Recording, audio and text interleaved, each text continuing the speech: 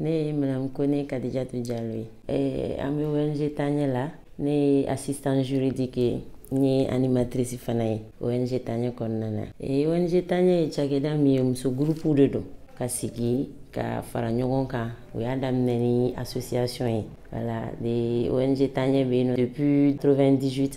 2004 donc ka na se 2006 ma a kɛra ong ye fo ka na se bi ma ani jamana bɛ baara kɛ ɲɔgɔn kan ani partenaires bɛ baara kɛ ɲɔgɔn fɛ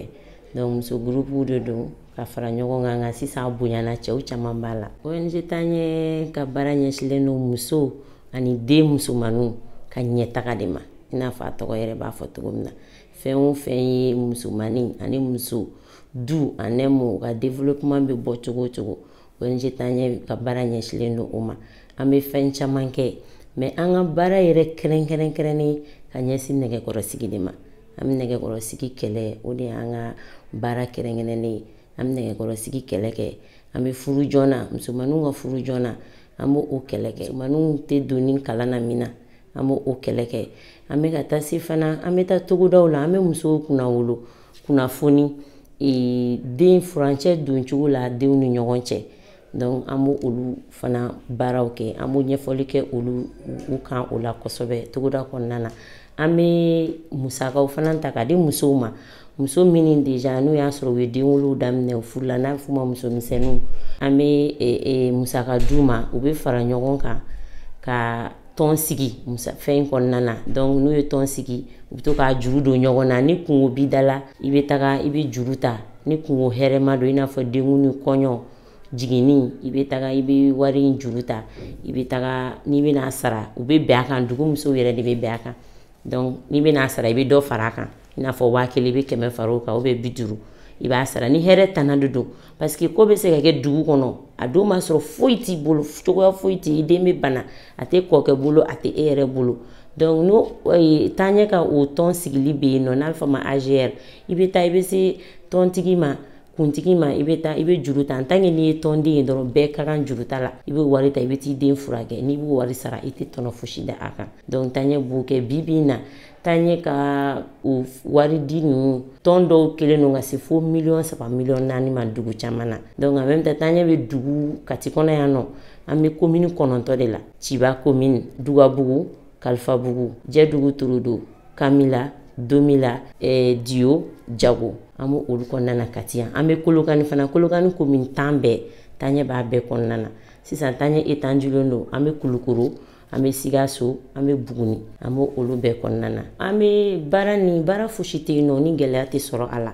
an yɛrɛ bi an b'a fɔ alihamudulilayi parce que an ye denmisɛnninw ye an nana don a la k'a sɔrɔ a ko nɔgɔyara sinɔ perezanti n'o ye e, madame sidibe agnès ɲare ye o b'a daminɛ olu b'a daminɛ tuma min na ka taa se ani fondatrice tɔw bɛɛ lajɛlen ma o don ni bi ma nɔgɔn dɛ u tɛ kelen parce que kuma tun tɛ se ka kɛ nɛgɛkɔrɔsigi tun da tɛ maga la u nɛnina u lajabara fɛn bɛɛ dar'u kan o wagati la donc bi bi na an b'a fɔ gɛlɛyaba tɛ an bolo ka ɲɛsin ma par rapport olu ye gɛlɛya min sɔrɔ parce que san faamuyali caman bɛ ka k'a la mais an bɛ se k'a fɔ k'an ka gɛlɛya ye mun de ye halisa bi bi na o ye le fait que luwa tɛ mali bolo nɛgɛkɔrɔsigi kama luwa tɛ mali bolo vbg kama vbg ye mun ye ɲangantɛ wale minnu bɛ ta ka musow ani cɛ sɔrɔ furuso kɔnɔna na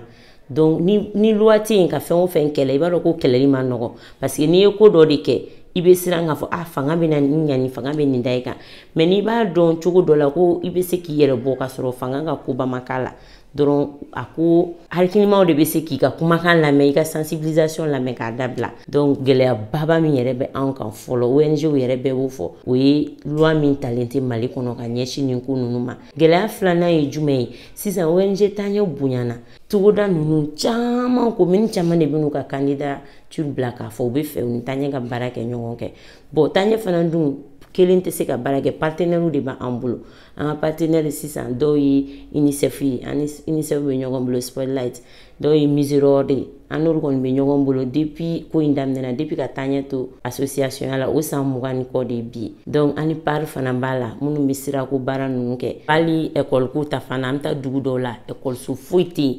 dugu dɔw bɛ yen nɔ u bɛ bɔ ka taa commune maire la ka taa kalan de la i bɛ taa sɔrɔ c'est à plus de 20 kilomètres 15 kilomètres denmisɛnninw u bɛ taga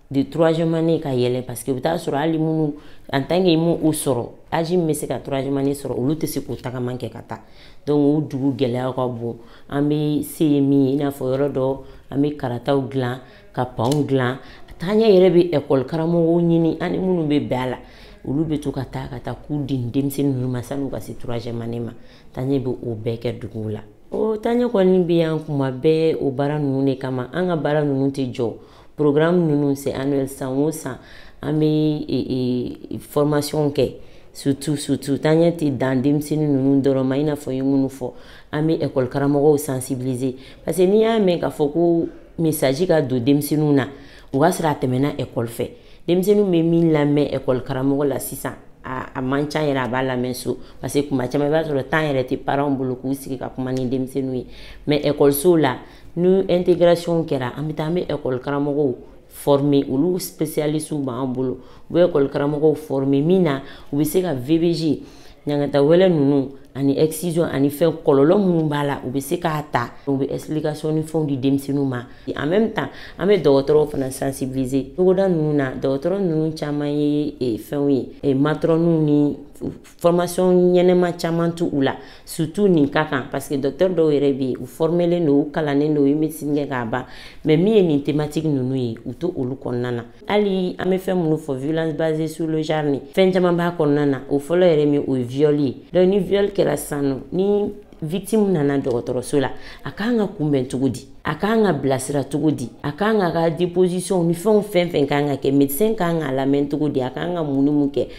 prise en charge fɔlɔ minnu kan ka kɛ i t'a sɔrɔ caman t'o ɲɔgɔn donc taaɲɛ bɛ dɔkitɛriw fana former à ce sens i n'a fɔ ni nɛgɛkɔrɔsigiw fana kɛra dɔw bɛ basibɔn bɛ k'u la fɛnw n'u nana o b'a sɔrɔ déjà dɔgɔtɔrɔ ninnu u formelen don a kanali kɔnɔna na u b'a ɲɛdɔn donc u b'u ka prise en charge kɛ nɔgɔya ni hɛrɛ kɔnɔna na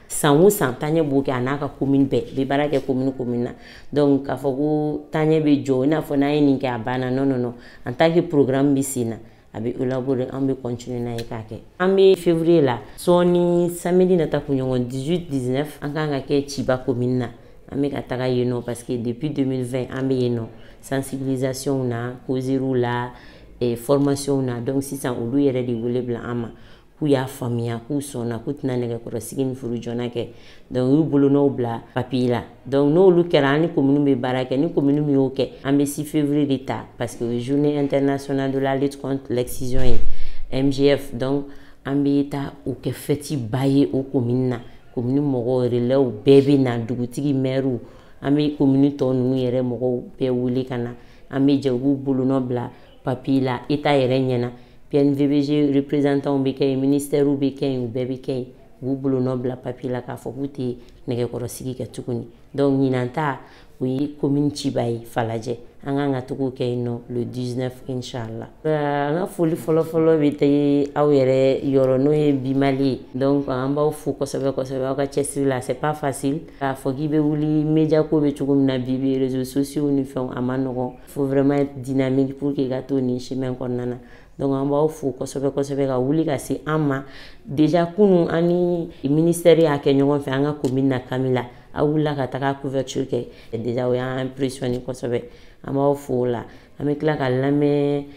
baga bɛɛ lajɛlen fo ka tila tuguni ka an ka relais an ka kominiw an bɛ baara kɛ dugu o dugu la village o village la an bɛ bɛɛ lajɛlen fo